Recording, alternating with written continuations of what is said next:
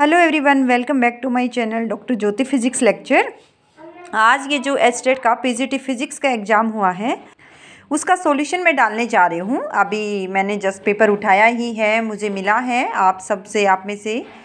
Paper तो question क्या आया हुआ है? देखिए जस्ट इसमें कंसेप्ट लगाना था। आप ए फोटोन है सेम वेवलेंथ ये क्वेश्चन में आप चैलेंज कर सकते हैं। बाई मिस्टेक सम लिख दिया है। बाकी ये सेम वर्ड होना चाहिए था।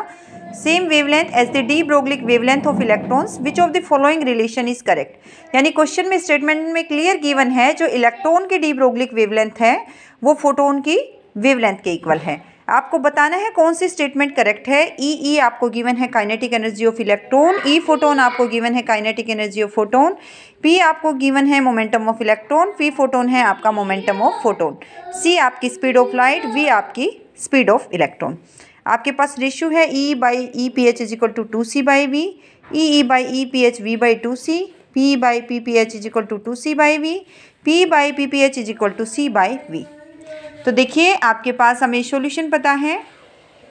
फोटोन का मोमेंटम क्या होता है? That is equal to H nu by C तो अब आप रेशियो निकालोगे E by E P H kinetic energy of electron आपको पता है that is P square by two M अब मैंने इलेक्ट्रॉन के मोमेंटम को डिनोट किया है पी स्केयर से मास को डिनोट किया है ई e से।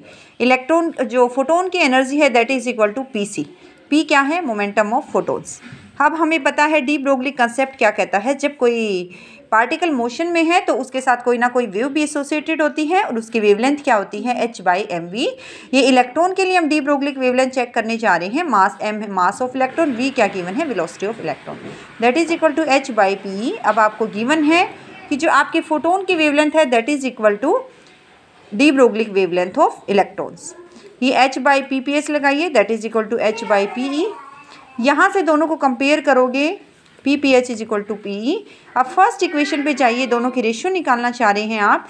E by E P S that is equal to P square by two M E whole divided by P P S C that is equal to P E by two M into C क्योंकि ये दोनों आपके क्या given है इस equation से? P H is equal to P E यानी एक पी पी एस से पी कैंसिल आउट हो गया, आपके पास एक पी रह गया by two M E C that is equal to momentum of electrons क्या हो जाएगा? M into V M E into V divided by two M E C M E से एम ई कैंसिल आउट हो गया that comes out to be V by two C तो मेरे according इसका correct option होना चाहिए that is equal to V by two C I think second option is right answer जो question paper मुझे मिला है, उसके अकॉर्डिंग आपका सेकेंड आंसर होगा।